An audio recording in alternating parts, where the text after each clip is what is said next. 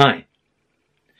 If you're using a crop sensor DSLR and you've had it Astro modified and you want to start using a duo band or tri band or even quad band nowadays filter or you're looking at the clip-in filters it can start getting quite expensive if you want to go to the full narrowband imaging so if you look at each clip-in filter for a Canon they cost about 180 pounds each and they work out around about the same cost as a 2 inch filter.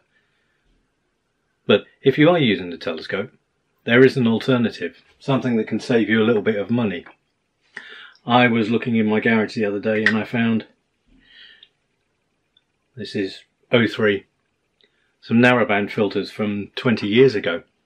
And these are imaging narrowband filters that I had back in the days when I used to use a Maksutov Cassegrain and a Schmidt Cassegrain telescopes and I used to image with a Starlight Express camera. Now I've gone all budget with small kit. This is what I use and this will be my imaging rig for 2021. I can't really afford to rebuy all those filters again.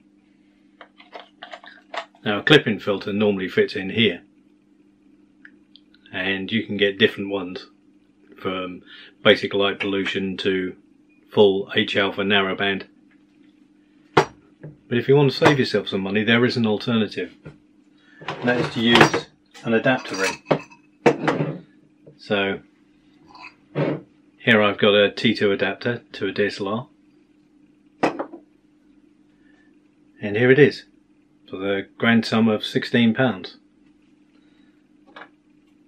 You take inch and a quarter filter, which are often very much cheaper than a clip-in filter.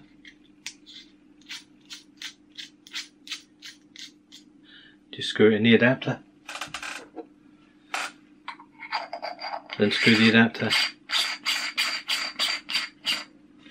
into your T2 mount. If you're using a nose piece then you're going to have to be a little bit careful because an inch and quarter nose piece would push against this. So you want to make sure that you've got it the other way around inside your um, T2 adapter and then that will butt up against the nose piece. And if you're like me and you just put it straight oh, straight onto the end of a telescope why are these threads so long?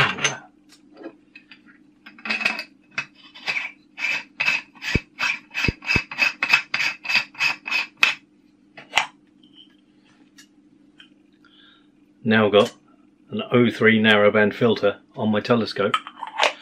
And these cost about £80 compared to the £180 or more for each clip-in narrowband filter. So you save £100 on this at a stretch. An example of that is on my Askar. This is an old Triad tri-band filter. And rather uh, these cost £80 and I had a look online and they're £100 more if you wanted to buy it as a direct clip-in filter for this. So, I thought I'd just offer that up as an alternative for everyone. Happy imaging and clear skies.